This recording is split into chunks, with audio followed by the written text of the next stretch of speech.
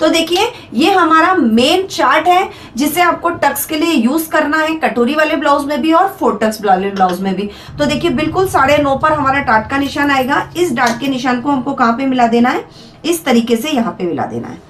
और ऊपर से लगभग आपके जो नाप आपका चार्ट में था, उसी नाप से इसे लगाना है। शोल्डर से डाट तक की दूरी कितनी हो गई? बीच की यहाँ पे साढ़े नौ इंच। और आपको एक चीज़ बहुत ध्यान से क्लियर रखनी है कि जब आप डाट का निशान लगाते हैं तो देखिए, मैं एक चीज़ आपको बता देती हूँ। अट्ठाईस तीस और बत्तीस। अट्ठाईस, तीस, बत्तीस में अगर आप डाट का निशान लगा रहे हैं तो सवा इंच चौड़ी आपको डाट लगानी है, यानी ये वाली बात कर रहे हैं हम। साइज़ बढ़ता है तो शेप देने में थोड़ी सी हमें क्या आता है कि थोड़ा सा टक्स ज़्यादा लेना पड़ता है, जिससे हमारा बस्ट का जो फिटिंग है वो बहुत ही अच्छा है। और यहाँ हेलो एंड वेलकम फ्रेंड्स मैं रजनी पाल गुनगुन सीविंग क्लासेस में एक बार फिर आपका बहुत बहुत स्वागत करती हूँ।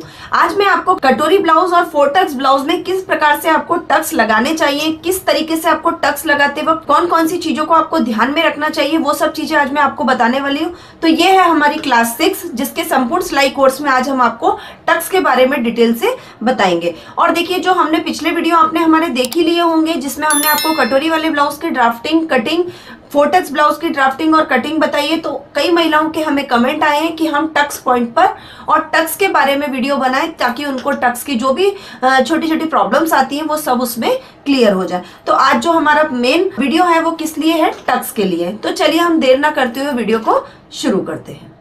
देखिए, सबसे पहले मैं आपको ब्लाउज के बारे में एक बार डिटेल से समझा देती हूँ। ये देखिए, ये हमारा आगे का गला है, ये हमारा शोल्डर वाला भाग है, ये हमारा आगे का हिस्सा, ये बेल्ट वाला हिस्सा और ये साइड से लाइन ये मार्जिन लाइन उसके बाद आता है हमारा बेल्ट वाला हिस्सा। ये देखिए, ये तो हुआ हमारा फोर टक्स ब्लाउज और उसमें हमें देखिए, टक्स हमको किस प्रकार से लगाने पड़ते हैं? ये एक सामने की तरफ़ टक्स आता है, एक हमारा ये साइड की तरफ़ टक्स आता है, एक हमारा ये आर्मोल की तरफ़ टक्स जाता है और एक ये हमारा हुक पट्टी की तरफ़ आता है। तो हम जो आपको टक्स के बारे में बताएँगे, वो आपको ये मेन जो फ़र्स्ट वाला टक्स होता है, उसके बारे में बताएँगे। और मेन आपका जो टक्स है, वो यही वाला है, उससे आपको सारे टक्सों को सेट करना है। एडजस्ट करना है या उसको उसके साथ में ही लगाना है। तो हम कटोरी वाले ब्लाउज में भी मेन इस वाले टक्स के बारे में सीखेंगे और फोर टक्स ब्लाउज में भी हम इसी टक्स के बारे में आपको डिटेल से बताएँगे। बाकी टक्स आपको इसी से लगाने होते हैं। देखिए, अब सबसे पहले हम चार्ट के बारे में समझ लेते हैं। पहले आप चार्ट नोट कर लीजिए, ताकि जब मैं आपको बताऊँ तो आपको किसी भी प्रकार से कोई डाउट्स इसमें ना रहे। तो देखिए, सबसे पहले आपको चेस्ट वाला भाग लगाना है।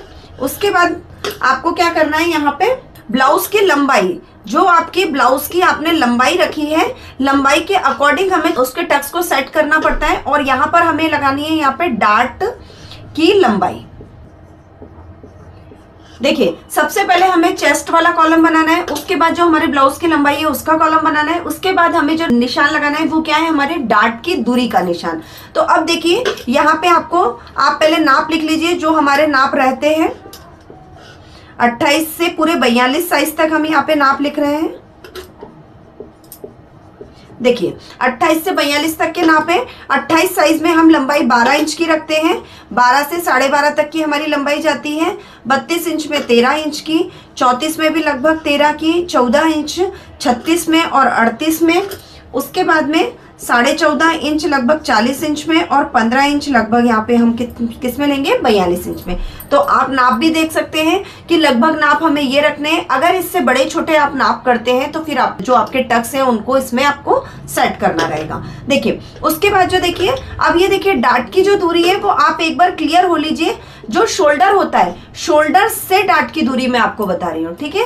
पॉइंट की बात नहीं कर रहे हैं हम, जो डाट पॉइंट होता है बस्ट पॉइंट होता है, जिसे आप लोग बोलते हैं, वो शोल्डर से नापा जाता है और कहाँ आपका खत्म होता है आपका बस्ट पॉइंट पे, जिसे हम क्या बोलते हैं डाट की दूरी का निशान बोलते हैं, ठीक है? अब देखिए, यहाँ पे जो आपका 28 साइज़ का ब्लाउज है, जिसकी लगभग लंबाई कितनी है 12 इंच है तो आपको डाट की दूरी कितनी रखनी है, यहाँ पे साढ़े आठ इंच ठीक है? जो आपकी डाट की दूरी होगी वो कितने इंच की हो जाएगी? साढ़े आठ इंच की हो जाएगी। उसके बाद साढ़े अड़तीस साइज़ में आप जब लगाएँगे तो नौ इंच पर, बत्तीस साइज़ में लगाएँगे तो लगभग नौ इंच पर आएगी। उसके बाद में जब चौतीस साइज़ में तेरह लंबाई है हमारी तो कितने इंच पर आएगी? साढ़े नौ पर आएगी। ये भी यहाँ पे साढ़े नौ पे आएगी।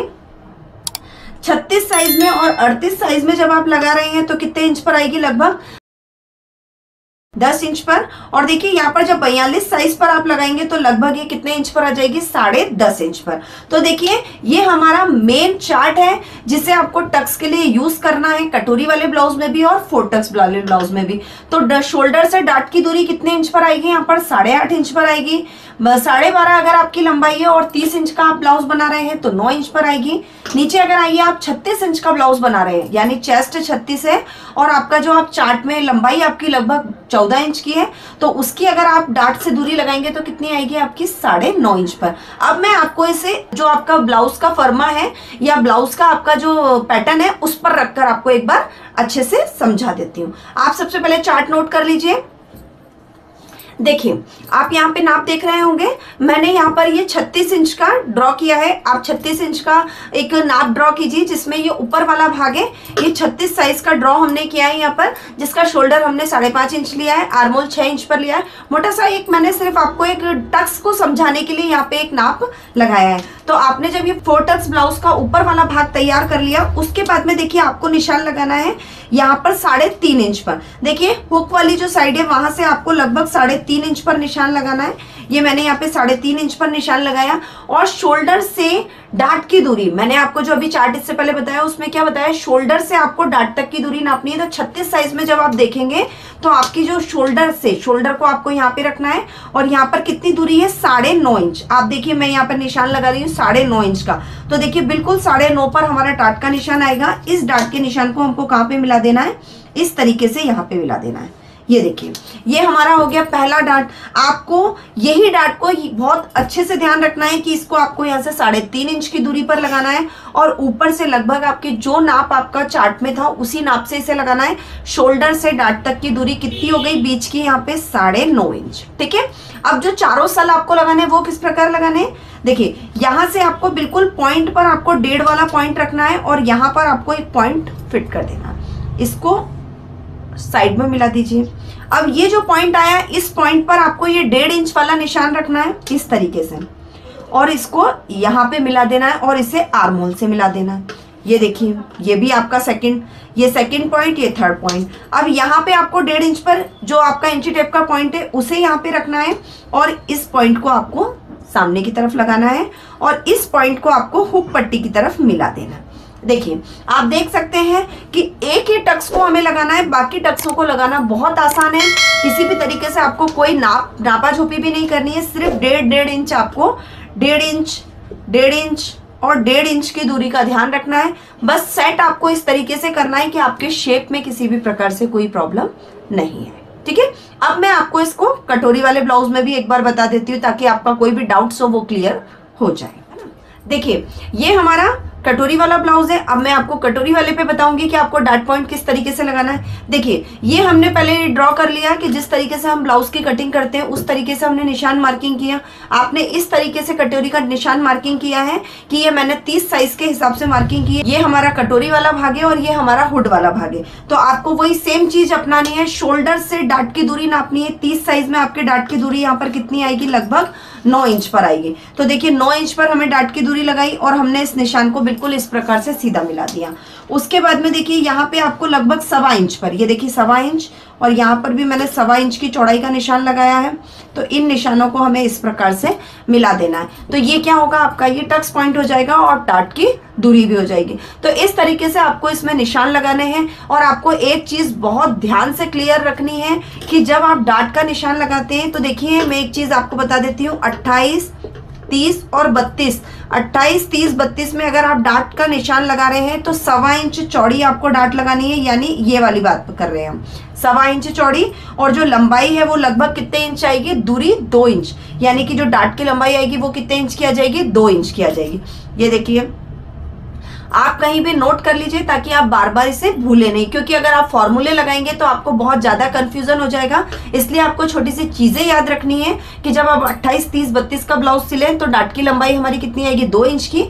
और आपका जो चौड़ाई है वो कितने इंच की आ जाएगी? यहाँ पे सवा इंच की आ जाएगी। उसके बाद में आप चौतीस छत्तीस और अड़तीस यहाँ तक के अगर ब्लाउज बनाते हैं तो आपको क्या करना है, जो चौड़ाई आपको रखनी है, वो कितने इंच की रखनी है? डेढ़ इंच की। और जो टक्स की लंबाई आपको रखनी है, वो कितने इंच की रखनी है? ढाई इंच की। यानी कि टक्स की लंबाई ये वाली और चौड़ाई ये वाली। उसके बाद आप अगर 40 और बयालीस साइज़ का ब्लाउज सिल रहे हैं तो यहाँ पे जो टक्स की चौड़ाई है वो आपको कितनी रखनी है? लगभग पौने दो इंच की रखनी है।